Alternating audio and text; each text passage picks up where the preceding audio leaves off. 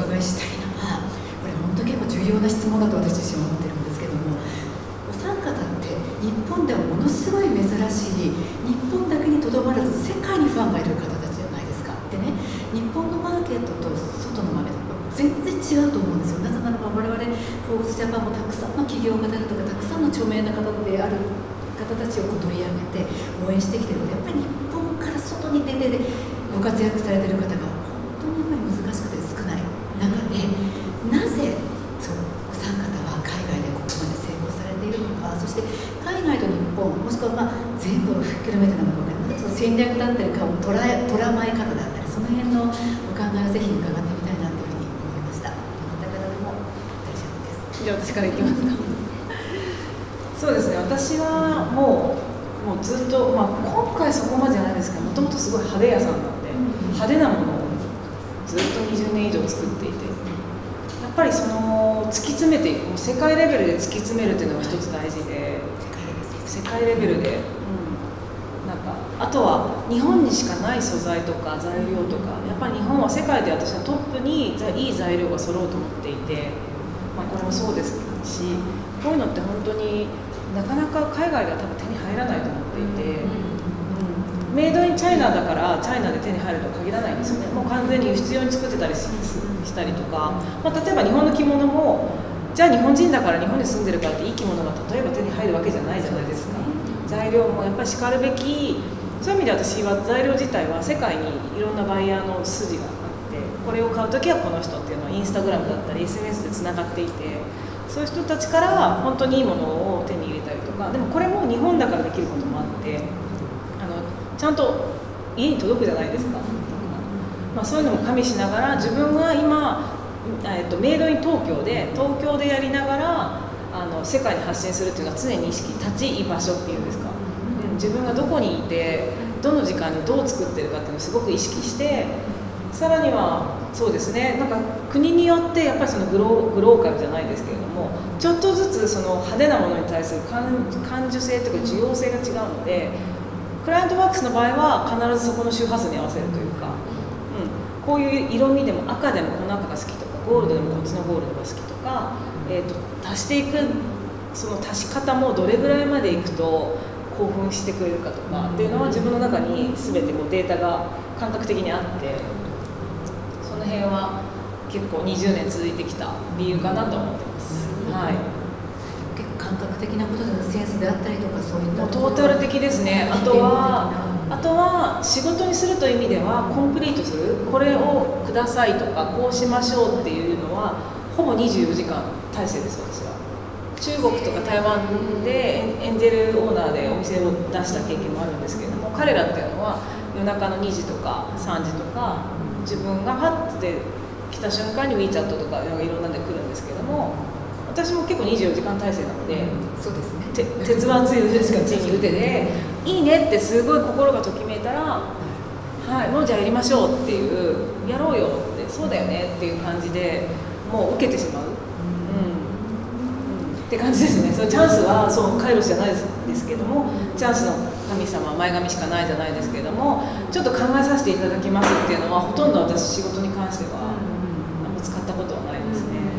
それなんかそれすごい重要なお話で、はい、ただのスピード感とかいう問題じゃないんですよね。本当になんかそのなんスピードっていうものではないですね。エネルギーの圧縮みたいなのを起こさないと、うん、関数的飛躍みたいなことだったりとか、はい、なんか思わぬ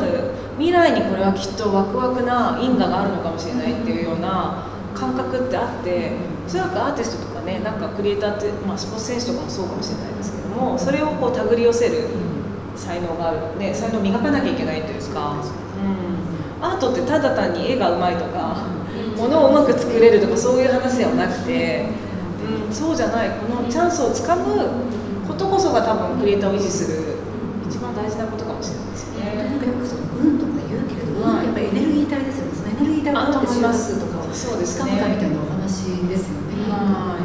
DNA に私たち入っていて人類がここまで残ったのっていうのはあの強かったわけでも何でもなくて運が良かったっていう調べると出てきてすねはいはいどうですか計さんはどんなふうに海外とか日本みたい。なところでそうですね。やっぱりこう世界を見てもあの網絵でしか表現できないよねっていうあの世界を表現するっていうことなのかなと思っててやっぱ似た人がいなく似たスタイルの人がいないのかこうなんだろう網絵ちゃんが来たら網絵スタイルになるよねっていうのをまあその一つの写真を撮ってもそこで表現できるようにっていうのは意識しててやっぱこうお仕事する中で、まあ、こう一つの案件でこう写真を納品してくださいっていう、まあ、ちっちゃな仕事でも、まあ、その一つの仕事に対してこうやっぱり自分たちの世界観を表現する。っていうもう本当小さな積み重ねをあの続けていくことがでそこでそのあのブランドさんだったりとかその相手に対してすごい素敵だねって思わせてもらえるようなものを自分たちはこう表現していくっていうことを積み重ねるっていうことなのなって思うんですけど、でも海外に出てった時出てった時に自分たちが感じたのはこうあああの人みたいになりたいあの人みたいになりたい誰かを追いかけるんじゃなくてもう何に何者でもない自分たちになろうって思った時にこう自分たちのなんだろうアイデンティティとかそういうものをギュッとこう前に向けてそれに対して歩き出せたっていうところがなんか今の自分たちにつながってるのかなと思ってて本当なんか人と比べないもう単純な話ですけど人と比べない自分らしくいよう。自分たちが好きなものを追求しようっていうなんか目線自分目線に内側に向いた時にすごく自分たちとしても生きやすくなったなっていうのはあります。ね。面白い。なんか自分に向かってオリジナリティをこうこう先鋭化させていくと結果的にそれが世界規模で見た時のオンリーワンになれる白いですね。やっぱり追求するからこそ世界レベルで他の追求してる人たちだったりとかに気づいてもらえるのかなっていうか、うん。うんやっぱ追求してる人って追求してる人のことが分かるので、ちなみにその追求していくことっていうのもいろんな鍛錬であるとかいろんなことが必要だと思うんですけどお三方はそれなんか気にされてることとかこんなふうになんかその最先端の情報を取り入れてるとかわかんない。自分の感性を磨き続けてるとかなんかそういった何かあるんですか？あの磨き磨き続けてることっていうなんか結構行動していくことが大事だと思っててやっぱこう自分が動かないと何も変わらないしそれこそさっきのお話だったようにチャンスっていうものもやっぱ自分で動いてやっぱこう種をまいていくっていうかでチャンスをこう掴んでいくっていうのを自分たちの経験的にはすごく大きかったのでやっぱそう行動していくことでやっぱりねつながっていくのかなっていうのをいつも思います。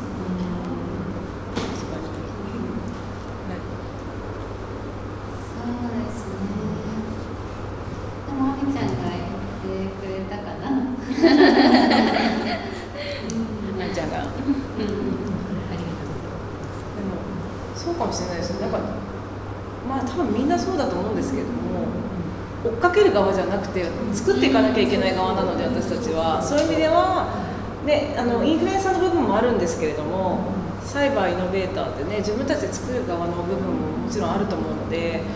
うん、私もなんかもう自分が本当に気になることが未来みんなが気になるぐらいのことを思って、うん、あんまりそんなに何か追っかけたりは自分軸で追っかけてます。自分なりの偏愛をやってますね、うん、なんか誰かをリサーチしてっていうよりは、めちゃめちゃすごい、自分たちで新しく企画を考えたりそうもう誰か誰誰かを相手にするわけじゃなくて自分たちがこういう発信をしたいからこういう企画考えました発信しようみたいなところで自分たちのものにしていくっていうのもそうですよ大事なのかねなっていう。でそれが結果的に自分たちのなんだろうお仕事につながってたりとかそのビジネスにつながってることが多いかもしれないです結果的に。あでもそれはそうかも。あそういう意味では、えー、とこういう感じで責任を自分で取る、うん。自分で自分で決めて自分からやりましょうってなかなかいなくて。ににちゃんのひろゆきさんもそうじゃないですか。2チャンネル作ったきっかけも飲み会は誘われればみんな行くけど飲み会を主催する人がいなくてずっと飲み会主催してたんですって。その延長で2チャンネルも、うん、作ったらしくてそういう場所さえ作れば誘えばみんな来て遊んでくれるみたいな。だからやっぱりね自分たちで企画を考えてこうやりましょうっていうのでこの一つまたこうね自分たちでこう責任を取って自分発信でやろうよって、うん、ゲームを考える。ゲームとかルールを新しく考えるみたいな。そこは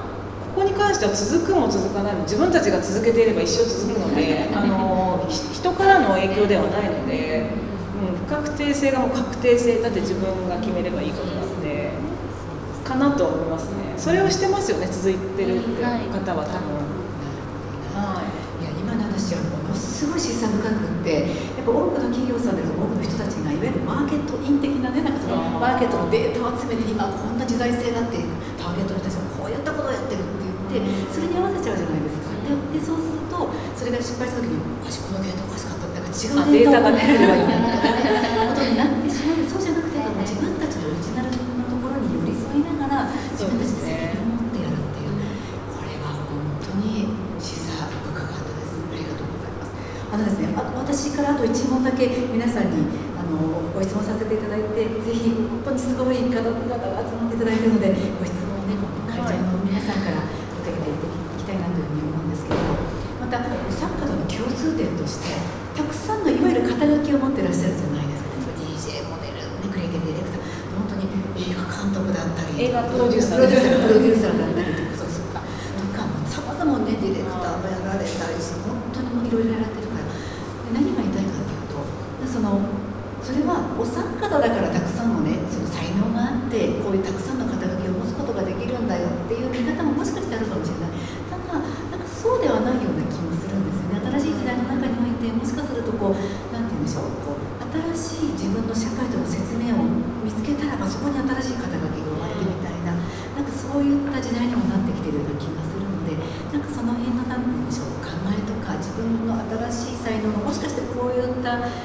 新しい職業だったり、肩書きを生み出すかもしれないみたいなことが、きっとさらにさらにあるんじゃないかなと思うんですよ、その方々とその辺の考えをちょっと聞いてみたいなというふうに思いました。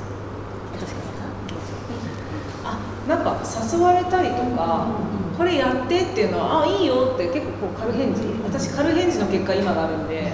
大体いいいいですよって手伝いますよとか最初は大体お仕事じゃなくてちょっとやってみたいな感じとか困った誰もいないからこれやってみたいな。そこから案外私は始めてて。でもやっぱりねやるからには頑張りたいからすごくこう尽力していくとそれがなんかいつの間にかあぜ道が、まあ、道になるじゃないですけれどもプロにつながってきてはいて。そういう意味では不安だとしてもなんかいいかも。っていうか自分にになんかチャンスをもらってるからそれこそ。これは未来に何かあるんじゃないかというふうに勝手にいい意味で期待を持ってまずはなんかやりますって言ってみて、はい、う受けてしまうそれを。あのむなんていうのかな無責任っていうよりは責任を持って軽減でする、うん。うん、かなっていう。はい。本当にでもそれは何らかの形のチャンスがあったからこそ来たお話であったりとか、はい。たまたま生まれた接点だったかもしれないということはい、ですよね。そうですね。だから日々日々普通になんか自分を追求してると結構来ますよねそういう話話とか。いや普通は来ないんですよ多うん、そうですかね。分。一瞬の皆さんが来る。いやいやいやいやなかなかかもと思って。うん、それが自然と種まきみたいになってるんですかねなるほどね。そうですね。それはそうかもしれないですよね。あとなんか日頃いろんな方とお話をしていてこういうことをやりたいんだよねとかこういうこと気になるんだよねとかっていうのは結構私なんかなんとなくこのこの辺りにあって何かこう金銭に引っかかるとどうですかとかまずは人をつないだりとかもしていて確かに種まきじゃないですけれども実を結ぶ芽が出る実を結ぶっていうのはやってるかもしれないですよね。それが自然にそれがもう自分から自然にもうキングさんがやられてるから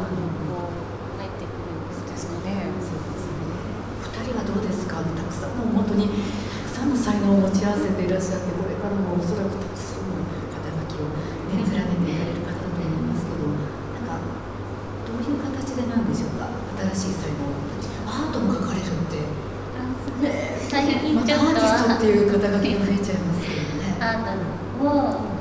やり始めたんですけど、まだそういうなんかまあアーティストとか呼べるようなあれじゃないんですけど、まあ、自分たちがなんか楽しいなって思うことをこう増やしてやっていって、まあそれが将来的に何か形にななればそれはそれでなんかすごく幸せなことだしって思って。なんかまあ興味のあることに対してはこう心オープンにしてなんかチャレンジしてみるっていうか挑戦してみたりなんかもううまくできなくてもいいから好きなようにやってみるっていうので、まあ、そこで自分たちの、まあ、新しいなんだろう才能っていうかその好きなものに気づけた可能性に気づけたりとかして、まあ、広がっていったらいいかなって素敵ですね。私はそんなに肩書きっていうものにあんまりこう意識を置いてなくて例えばキングさんもそうですけどなんかキングさん肩書きっていうよりもキングさん そうですね。今日肩書きに興味をよく持たれると思うんですけどなんかそういうものじゃなくてキングさんに興味が湧くじゃないですかなんかそういう人って素敵だなって思うんですよ私たちもなんか肩書きっていうよりはアメリアっていうものに興味を持ってくれてあちょっと深掘りしてったらあ音楽もやってるんだアートもやってるんだっていうふうになんかそういう興味の持たれ方をしたいなそういう生き方したいなって。そういう印象です。アミヤちゃんってもうね、アミヤですでもう もう完結してるというか。でもまさしく本当今日の今の本当にサマライズじゃないですけど、うん。自分自身にこうこう向き合った時に自分自身のまず核があってそこにたまたまそういったいろんな肩書き的ないろんな要素が積み合わさってそしてご自身というなんか一つのこうなんて言うんでしょうね。ものができるっていう。なんかそれは重要ですね。だから何かその肩書きとかによるんではなくてまず自分は何なんだと自分は何をしたいのかみたいなところに向き合わなくてはいけないそうですね。ね肩書きは周りの方が他の方にその方をどう描写して伝えるときに伝えやすいための、うん、あのなんだろう。ラベルラベルでしかないというか、伝えるためのツールでしかなくて、本人が語るものではもしかしたらないのかもしれないですよね。そうですよね。だからはい本人の魅力をどれだけたくさん連ねていたたまたまそれがまあラベリングとして肩書きとして表せるかもしれないみたいなところそうですねよね。あった方がより多くの方にあの知るきっかけになって、ね、なったりとか、まあ、安心してもらえるきっかけになるので、まあ、必要な部分、ね、必要な時は使うっていう感じで。